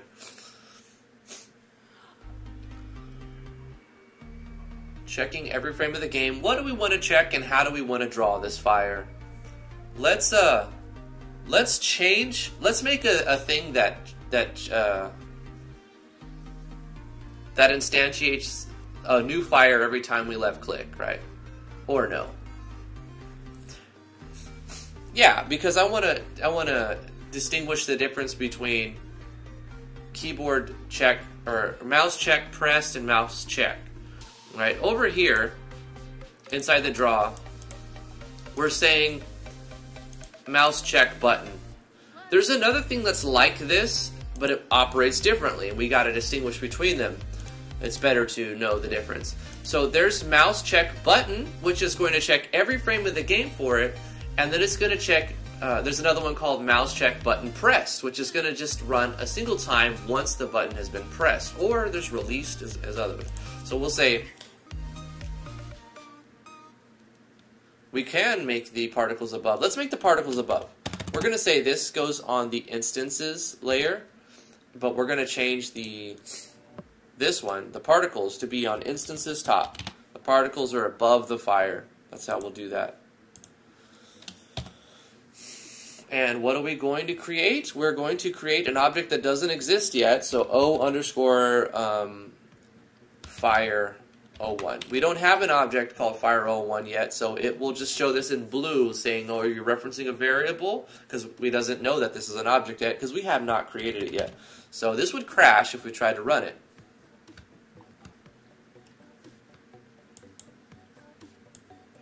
So we need to go to objects, create an object, call it O underscore fire 01, and we're going to assign it that value right there, the, uh, the sprite that we created. Now there's a way we can manipulate how fast it, it is, uh, it, it animates. So let's, let's randomize the fire a bit to see what we can actually create with the same image. So on the create, randomize values. Let's say this doesn't need to move, right? It's going to be placed in a random spot, but we're going to say x scale equals random range. And you can do lots of different ways to, ran to randomize. I like saying range because it gives you from here to here. It's very easy to understand. We have to actually say image x scale image for it to be built in. It'll light up green for when you know it's built in. Random range from the x scale anywhere from, um, let's say, a quarter of its value to three times its value. Yeah, right? And then we'll say image underscore y scale will also equal image underscore x scale. This will make it so that it, it will always look the same. We could randomize, we could randomize both. Right, we can make it so that it's stretched out long and, and kind of weird, and we can do that at first. In fact, let's do that at first. Maybe we want that, just to see some funniness. We'll do the same thing here but they won't match. They it won't match unless we use the second line. So we're going to comment this out and we'll put that into play afterwards. What else can we change besides the scale?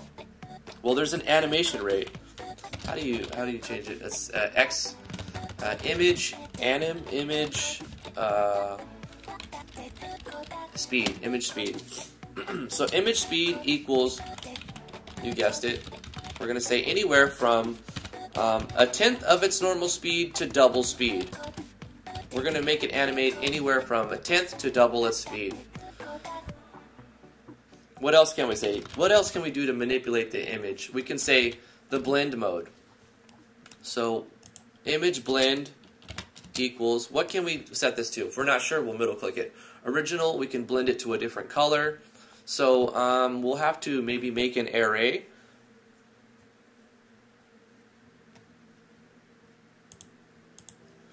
say we want to blend it to a, a different color each time, um, we, we can set up, we can do this multiple ways. A good way to do this is is pick one from an array. So let's let's create a, variable. Um, blend values equals I think this is looking at uh, alarm when we do this. It should handle arrays the same way I think GML does. We'll say blend values will be C underscore red, C underscore aqua, C underscore black, C underscore. We're just going to put in all of them, or quite a few of them. C underscore dark gray, C underscore fuchsia, green, most of them.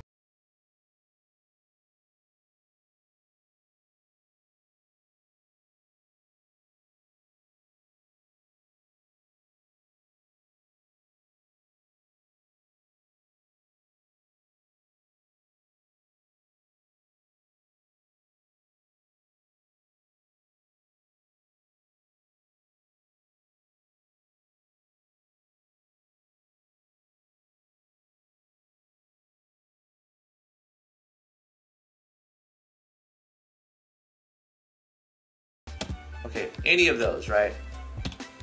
So blend value is an array. So we want to pick a random value from the array. Image blend equals blend values, and then inside of here, we're going to say random range between uh, 0 and the number of uh, arrays. We could, there's probably a better way to do this. 3, 4, 5, 6, 7, 8, 9, 10, 11, 12, 13, 14. 1, 2, 3, 4, 5, 6, 7, 8, 9 on green. 10, 11, 12, 13, 14, 15. So 0 to 14. So image blend, checking the the index of the blend values array with a random range of 0 to, so any of these 15. I think that would work, but we might get an error. There's probably a better way just to pick a random one from an array. Does anybody know? Flash 15X. It's good you made it though. Thanks for coming in. Appreciate that. So we're, we're giving a lot of, what else can we do to, to manipulate this last image that we're going to do? Uh, image index. We can start it on a different index, but after it starts cycling, you won't even really notice the difference. You won't really, that won't be much of a difference. Image speed, we already, that we've already messed with. Image angle, we can have it drawing at a weird angle. That'll really look weird. I don't know if we should mess with image angle right here, but let's do it, right? Angle 0 to 360, I imagine it works counterclockwise the same way, so we'll say random, range, uh, 0, to 359. We're, we're changing its uh, its angle, its orientation there. So uh, what else can we do to the image? What else can we just set up with the image?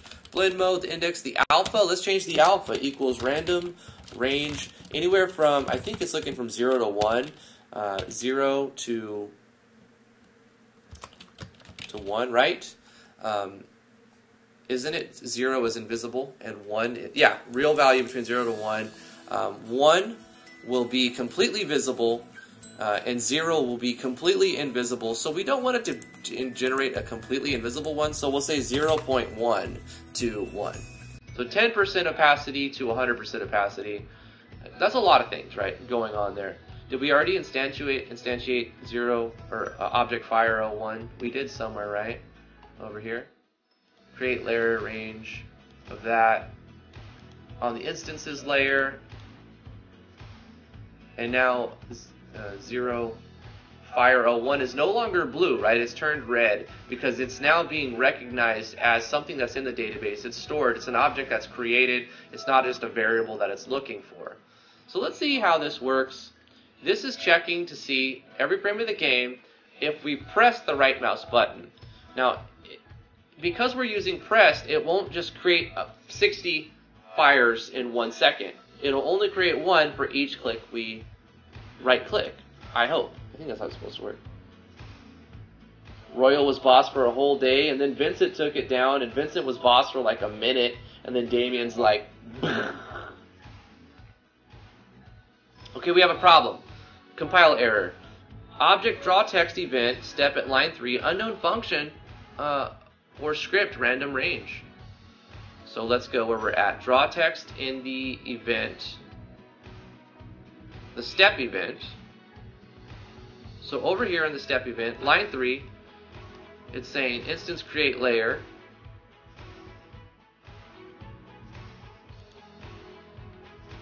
Okay, so we have a, a syntax error here. So we're saying random range between that we misspelled it. We misspelled radom range. We don't know what radom is. We, got to be very specific. Random range, right? There's a little typo. Or let's try again. Doesn't know what radom range is, guys. Okay, where are we at? This is some more errors. Uh, on the step event, line 2, was expecting an opening brace and it got a, a closing thing. Oh, oh, right here. We're encapsulating this but we're not closing the encapsulation, right? We don't actually have to encapsulate this condition, but I do it as a habit. What else do we got? It's working. So holding left click is creating this crazy snow-like effect. Not necessarily, I mean, it's sort of like just blasting particles. And right clicking is creating random fires with different angles and different animation speeds and different blend modes. For every right click, it creates a new one. Let me just spam left click, right click. And we've got all these crazy fires. Not necessarily what I wanted, right? not at all. Not at all. But you can see what's happening, really. So I want all of their animation speeds to be faster because it doesn't really look great when they're slower. So let's change the object fire. It's actually working though. That's great. That's fantastic. Okay, what we want to do is actually what I said from the beginning, the set the Y scale to be the X scale so that it, it looks like that. And then we also don't want to change its angle, really, so we'll comment that out. I just want to show there's stuff you can do with it. Uh, and I want to change the speed so that it's always going to go fast. We, we want it to go um, at least half speed, and then maybe up to four times speed. And, and so we've made a couple changes, just a few lines of code change. Uh, also, opacity, let's say it's only like a minimum of 30% invisible, and then it's fully invisible. So we, we've made some more, make it more obvious and, and, and less randomized. But So now we have this going on.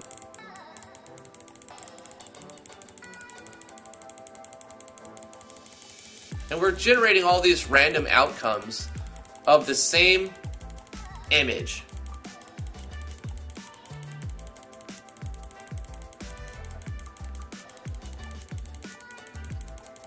Okay, one last thing. One last thing. You take down the raid boss, then you get a short reprieve until the next raid boss.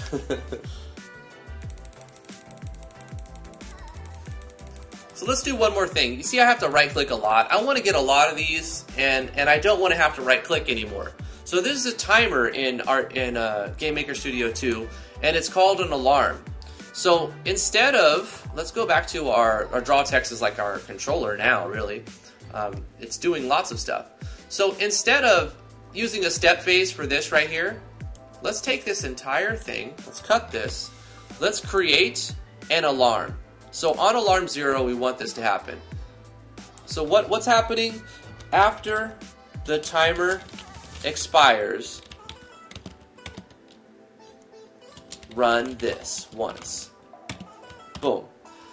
So we're going to set an alarm and then it's going to run this. But inside the alarm, we're going to reset the alarm so it just keeps happening. So we're going to say alarm and then it's you you reference its its index it, it, looks like an array, but it's not an array. It's this is just like the way to. I guess it is. It's in the alarm array, but the index of zero on the alarm array. So you can have multiple alarms, right? This is alarm zero. So what's going to happen is we're setting alarm zero to turn into 30 frames. So first of all, on the create phase, we have to set the alarm to go off. So we're going to randomize, store this value in the game thing, align the text, and set an alarm. So alarm 0 is going to create, let's say, 120 because it's going to tick down your alarm. Once it's created, you can't set an alarm on a step phase, right? Because it's setting the value of alarm and everything happens every frame with on a step and a draw as well. So you have to set your alarm on a create phase or by some creation code, whatever, there's many ways. So we're setting the alarm on the creation. We're saying we're going to use alarm 0. That's like the one we're using. Like we have multiple clocks and alarms and clock zero is alarm zero. We're going to say in 120 frames. We're setting that. So once this object is created at the beginning of the game, in two seconds, do what is in the code for alarm zero. We have another event, which is like, you know, when it's going to happen. So after two seconds of this object being created, it's going to run this. It's going to create the fire because I don't want to right click anymore. I want it to happen automatically. And then reset this same alarm to happen half a second later, half a second later, and it'll keep creating. So it'll take two seconds to make the first one, and then every second it'll create two more. And then we'll watch the screen burn down as we do our outros. So I've got to end the stream. Hopefully I set this up right. Right click, one, two, and then now it's just creating fires and I don't have to click anymore. And we get all these random various with the same uh, artwork and you can imagine um, the level of sprite manipulation you can get when just making one sprite. Um, so the code in GML is really, really cool and fun to play with. And if we left click, we snow the screen. We could even make it so that pressing, snowing the screen will erase all the fires if we wanted to. How would we do that? Easy. On the draw phase or wherever we're, we're selecting um, this, at the end we can say if we're making another conditional statement inside this, this button check. If object exists, I think it's like this. O underscore fire 01 with other instance destroy. I don't know if I did this right, but I want to just test it real quick. I'm running out of time. Where are we getting an error? If, oh, I know where. If, so we have an open, an open, a close, and a close. Where do we have an error? What's happening here? Why does it say? Oh, again, I'm forgetting to. I, I, I encapsulate when I don't really need to sometimes. What is this saying? Oh, okay. Nothing. Alright, let's save it and, and test it.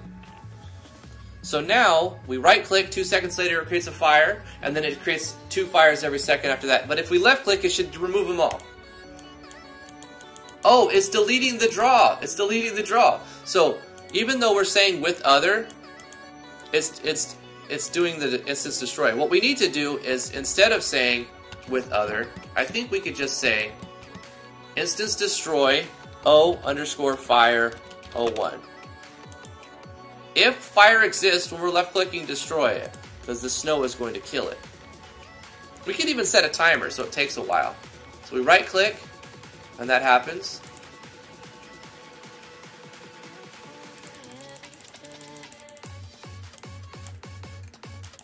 Now the snow wipes out all the fires.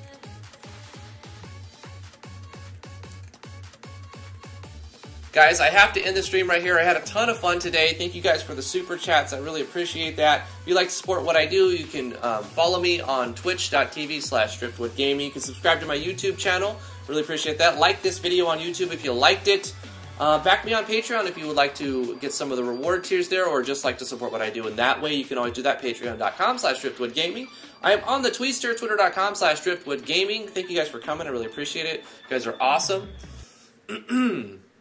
youtube.com slash driftwoodgamingmv uh, is, is my YouTube channel. driftwoodgaming.com slash games if you want to download some games.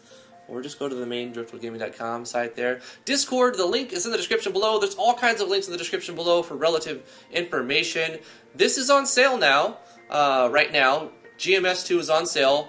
I recommend the the $79 version. Don't get the $30 one year uh, because in a year from now, you might want to use this and you've already paid and it would still cost probably $100 at that point. Um, you can, though, do whatever you want. Um, I recommend getting it while it's on sale, $79 for the full version, the desktop version. That gives you the ability to export to Windows, Mac OS, and Ubuntu. Um, technically, Microsoft owns Linux now. So, whatever, it's its own OS still but it's going to be more and more integrated as time goes on. Look at all of these fires. The screen is just burning down. I love the sprite manipulation inside of GMS 2. Anyway, thank you, Damien, for the super chat. Thank you, Vincent. You guys are awesome. Thank you so much, everybody coming who's chatting on Twitch and on YouTube. Uh, have a great weekend. Hopefully, you guys are having a fun time. Um, oh, I said I was going to show you some of the audio that I I'll record more over the weekend because uh, I really have to go now. Bye, guys.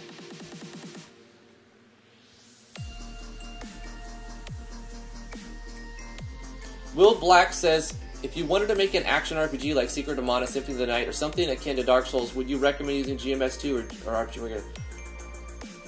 Secret of Mana could be RPG Maker or GMS2.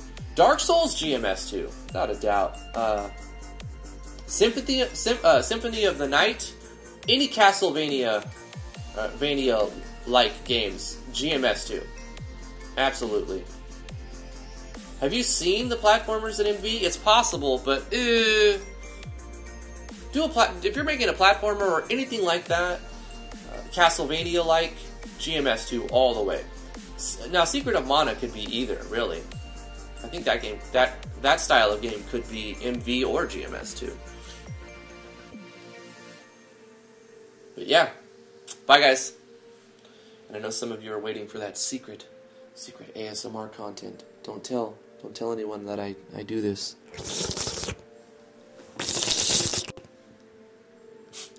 Bye guys.